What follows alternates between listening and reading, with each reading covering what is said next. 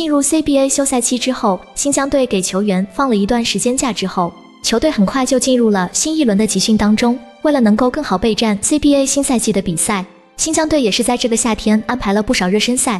在昨天，新疆队与美国探险者队进行了一场热身赛，结果新疆队发挥出色，以一百零一比六十五大胜美国探险者队三十六分，收获了一场酣畅淋漓的大胜。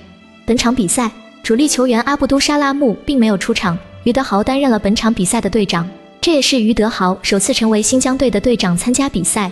此次热身赛，主教练邱彪主要是考察年轻球员，因此在比赛中给了很多年轻球员出场比赛的机会。其中，刚刚引进的新球员米艾丽就获得了比较多的出场时间。当然了，年轻的米艾丽也是用出色的表现来回馈邱彪。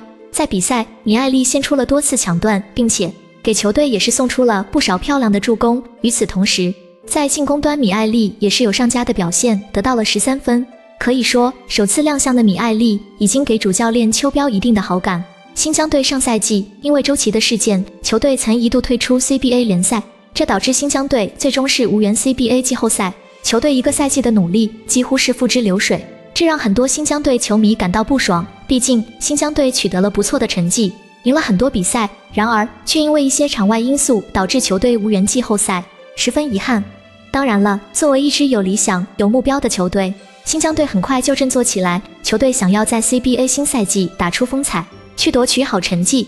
不过，从新疆队近期的情况来看，依然是存在很多不稳定的因素。一方面，周琦的问题依然是没有解决，因为周琦想要以自由球员的身份离队，已经和新疆队彻底闹翻。根据周琦表示，他已经不可能再回到新疆队效力。在篮协的调解下，新疆队已经同意把周琦拿出来进行交易。但是周琦与他的经纪团队似乎还是想自由球员身份离队，就算是交易，也是不想给新疆队提供丰富的筹码，因此导致周琦的事件至今还是在僵持当中。另外一方面，有媒体爆料，新疆队主力球员阿布都沙拉木也是在寻求转会。在前几日，有媒体人表示阿布都沙拉木已经不是新疆队的队长。对于这件事，有球迷也是向阿布都沙拉木进行求证。结果，阿布都沙拉木也是证实了这事，表示自己已经不是球队的队长了。阿布都沙拉木是这样回应道：“你好，我已经不是新疆队队长了，麻烦以后别叫了。”看到阿布都沙拉木的回应，有球迷认为他是开玩笑，似乎是不相信这个事实。对此，阿布都沙拉木表示：“我像开玩笑。”显然，新疆队已经拿掉了阿布都沙拉木的队长职务。对于新疆队的新队长会是谁，有媒体人认为将会是唐才玉。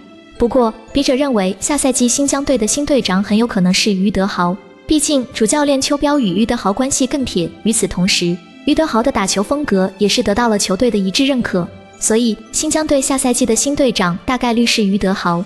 当然了，对于阿布都沙拉木接下来会不会离队，新疆队方面并没有进行解答，而是让子弹再飞一会儿，让媒体去继续酝酿一下。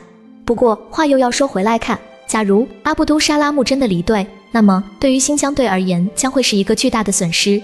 毕竟，阿布都沙拉木是球队上赛季的得分王，球队失去他，将会少了一个得分好手，这对新疆队下赛季冲击好成绩是十分不利的。